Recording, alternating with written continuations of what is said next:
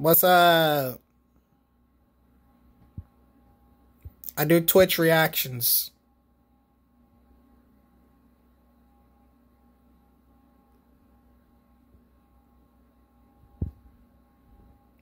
Follow DJ's React Station on Twitch.